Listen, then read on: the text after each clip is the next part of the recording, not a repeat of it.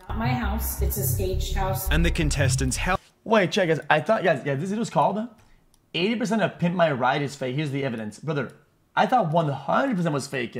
Guys, I'm actually more impressed that there's a part real in this. You're at a house. It's not my house. It's a staged house. And the contestants' houses weren't the only thing Pimp My Ride lied about. The reactions were staged and retaken multiple times. Certain upgrades were taken off as soon as the cameras cut. It's for a boat. He goes, it's a GPS for waterways. It will not work in your car. And disappointingly, even Xzibit himself had no real interest in cars. Soccer moms coming up to me, telling me about their husband and their car that he had since the 60s. And I was like, like, stop talking to me about this. I know as much as you do. When asked if the show was fake, a former contestant replied with a single word correct, which isn't surprising as the show even lied about who the contestants were. For example, in season 2, episode 10, Brooke was introduced as a 22 year old film lover guys, working hard to go to grad. Why would you want your real name on this?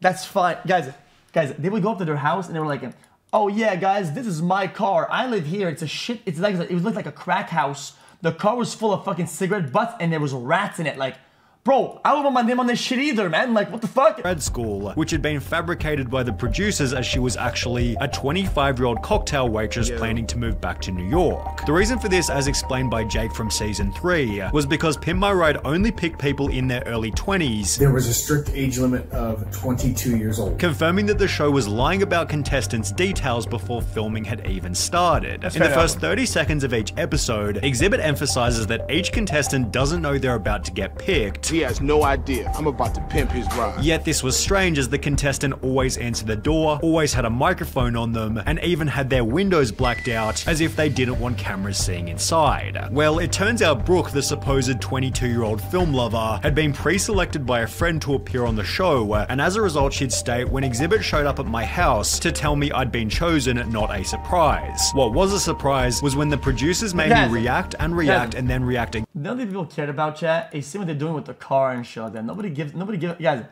I guys sometimes I would literally skip the fucking intro and sh- I would I didn't care at all. Again to Xzibit showing up, finally coercing me into doing a cartwheel, and she wasn't the only contestant who'd had this experience. And they push you on how to say it and what to say and everything like that. The show Is didn't have an actual script, but they did steer the dialogue in a direction that they wanted. If I said something they liked, they would have me repeat it over and over on camera. This had been commented by Seth, who appeared in season 5, who was also well aware that Xzibit was coming to his house, stating they told me I was in the running for my own episode, but it was between me and two other people. When I was sitting in the house waiting for a knock at the door, they said that it was either going to be Xzibit or a producer telling me I didn't win. Thinking back on it, that was all bullshit, but it did make the surprise genuine, which was the same experience as Erin from season 4, episode 2. She was one of three contestants. One of them would be chosen. Someone came and knocked at the door. If it was Xzibit, they won. Each contestant was at least somewhat aware that they'd be getting a knock on the door because, well, the homes they were in were actually owned by Pimp My Ride. A Huffington Post article clarified these houses were oftentimes not the contestants' homes. Instead, each dwelling had been rented by MTV. For example, when Jake from season 3 was asked, did the film crew show up and stage the whole surprise as part of the episode, he'd I respond mean, by I mean, Chad, logistically, Chad, imagine, imagine you find a really good contestant, really good age, really, you scout them out, and they don't have a house. They live in an apartment. Okay, GG. Okay, you find another, another good, oh, he lives with his mom. Okay, GG. Like, this just makes it logistically sound. Stating it wasn't my house. It was a place owned by one of the crew members. Similarly, Seth from season 5 stated, The house was rented from Craigslist because I lived in an apartment, and they need a house with a big open driveway for filming, which is certainly reasonable, although sometimes the house was part of the person's story. In season 2, for example, Eric's car had supposedly been beat up in the rough streets of Compton. In Compton, ain't no streetlights in Compton. However, judging from a quick look at Google Maps, it seems the episode was filmed in a much nicer neighborhood. So if Eric's story was inconsistent and Brooke's story from earlier was downright fabricated, then who else's stories were exaggerated for the sake of the show? Well, it seems pretty much years later and shit the bed. I know, I know. Much all of them. In season 3, Jake's Buick had been bought from his grandma who smoked, and as a result, the show threw an extra few dozen cigarette butts in the car to make her just look like a totally disgusting person. On top of this, the show interviewed Jake's girlfriend toward the start of the episode, yet MTV apparently questioned me having a girlfriend and suggested I dump her because it was better for my desperate dude with a shit car image. A producer later responded by stating, Why would we want a kid to break up with his girlfriend? How would that have helped the show? So while Jake's claim about his girlfriend was somewhat questionable, the cigarette story was confirmed by Seth, who had a similar experience. Yeah. Cringe, cringe. These guys, they, they probably just want like some fucking. This is like some. Oh, guys, things went like this. That's fucking stupid.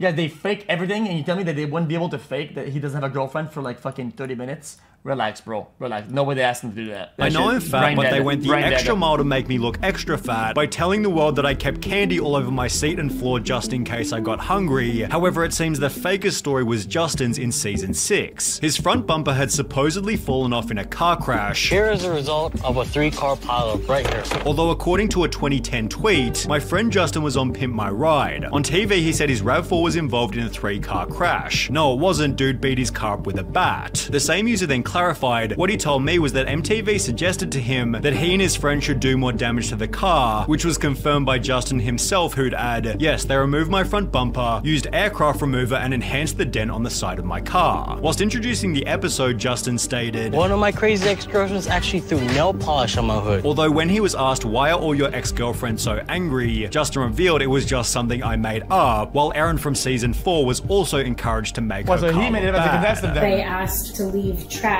in the car. wait, we went wait. to In-N-Out. Wait, wait, that's the contestant who made it up? I mean, dude, that what can you do, man? Like, And so they told me to leave it in the cup holder, so I did. It seems the only real part of the show's intro was Xzibit's improvised dialogue, Because it wasn't scripted. I could say whatever I want to say. and when Xzibit drove the car to the shop. Shane, though. Xzibit did actually take the cars and drive them away, with the exception of a few that were too broken down, and then they made it look like he did. Although this segment created even more problems. Most people believe that PMR takes the car and gives it back in like a week or something. That's what I thought was gonna happen too. But in actuality, they took my car for roughly seven months, being a massive inconvenience for some of the show's contestants. And they make it look like they're moving really, really fast, but in reality, they weren't. When asked for the five months they had your car, did they supply you with a replacement car? Justin from season 6 replied, No, they gave me $2,000 to rent a car. But I was 19 at the time. I rented a car for a month and it cost me $1,000, forcing Justin to find his own transport for the remaining four months. Seth from season 5 had a similar experience, being forced to go to a really small shady company off the freeway by LAX because they were the only ones willing to rent to me because of my age. It sucked having that rental car because they wouldn't take payments over the phone, so once a month I had to drive all the way from West Covina to LAX just for them to swipe my card. That's nice Although the rental situation was better for other contestants, They had my car for about six months, and that time I had the rental car for six months as well. with Jake from season 3 adding, they gave me a really nice Mitsubishi Lancer to drive for the time they had the Buick. In the meantime, I don't think they lied about this. Also, they signed up for this. Because I, I, guess it's not like corporate greed and shit like that, but at the same time, guys, they, they, signed up for this and they accepted the deal and, and how it, how it, was going to go about, right? And it, eh, I mean, the crew began to plan how the rides were going to be pimped, although What according to a former here? production staffer, this was also somewhat staged. The boardroom scenes with the WCC crew took a long time to shoot. They often had to be fed line by line. Some of those guys never really got used to being on TV. Some of the lines in the shot probably seem rehearsed because producers would come up with them and feed them to the WCC guys, although excluding this, Guys, the mechanics were fair. I'm not defending it, okay? But if if somebody says, "Yo, dude, we're gonna pimp your ride and uh, you're gonna get 2K," uh, uh, if there's a contract that you, you give you 2K, right, for you to rent the car, and you accept it, you're like, guys, this 2K wasn't enough. Uh, okay, well, at that point, I mean, shit, you should, you should probably not accept it or sign this fucking deal if you didn't want it. If it was inconvenient, you probably shouldn't have fucking signed it. What the fuck?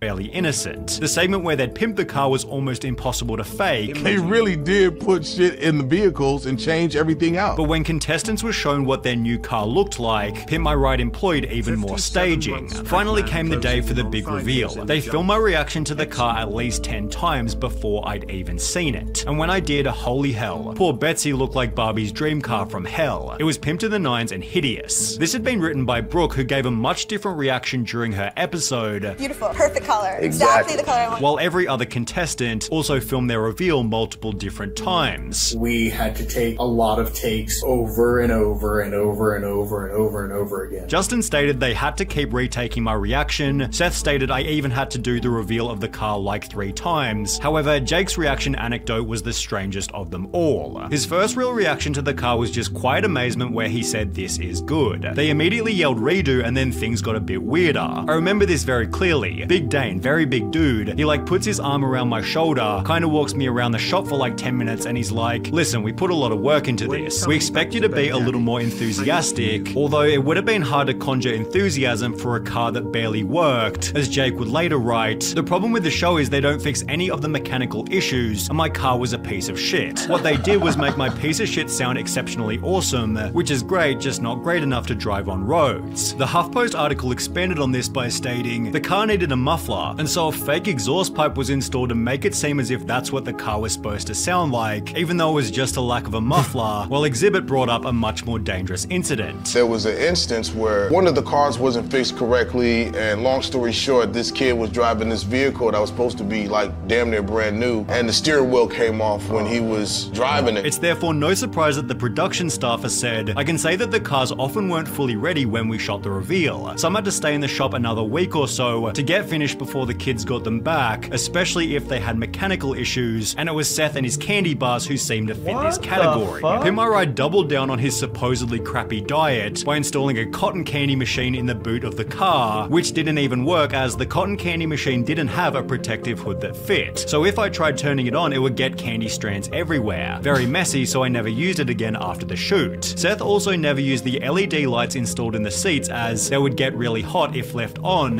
while he also had to remove the gull What the fuck? I mean, that, that, that's a free car heater. It's seat heater. Uh, guys, guys, he, guys, he didn't even read the fine print. It's a two-in-one seat warmer, dude. What? This guy's doors dumb. because the pistons used to lift them kept them from putting seatbelts in the back, which was highly dangerous. To add a cherry on top of the cake, he had to fork out a further $1,700 for a brand new engine, then adding, After that, I drove it for a month before someone hit me and totaled it. However, the end to Justin's RAV4 was even more brutal. After oh. five years of taking his pimped out ride to car shows, Justin's RAV4 caught on fire whilst driving as a result of faulty wires. It was later confirmed that this had nothing to do with the show, and at least Justin's car was the same one he first sent in, as when Tavarish uploaded a video titled I bought an abandoned Pimp My Ride minivan, he'd make a shocking discovery. The show originally introduced the minivan as a 1998 Plymouth Grand Voyager, however Tavarish discovered the car was now a 1999 Dodge Caravan, showing that after they wrecked the original minivan, the show sneakily pimped a completely different car. As a result, Xzibit has been the brunt of most of the show's backlash, I was the face of the show. You know what I'm saying? So people associate I me mean, dude, with what dude, dude, dude. Imagine, dude, you spend this entire thing, guys. Find a contestant, a story, a car, dude. You film the whole thing, dude, and then you remove something. The car doesn't work anymore, bro. What can you do, man? Dude, what do you do at that point? It's GG, like. Happened to the car. Which the feels pretty thing? unfair given every contestant has said he's an awesome guy. In fact, Xzibit only did pimp my ride for the following reason. I actually did pimp my ride because I thought they was gonna play my music videos. However, it instead seemed to have the opposite effect. The show was taking away my credibility of ah. what I've already done. It was taking so much time. I wasn't able to tour. I wasn't able to record albums. Oh, damn, I definitely didn't know. I know was, that. you know, I was there filming, filming, filming, filming. Which is even more depressing given he was barely paid for it. But at that particular time, you wasn't really happy with the pay though. Nah. And as a result, it's no his laugh, it's so surprise that Pimp My Ride is unlikely to make a comeback. When are we gonna get a pimp my ride? No, no, there'll be no more Pimp My Ride. Yeah, it sounds like a logistical fucking nightmare of a thing to do.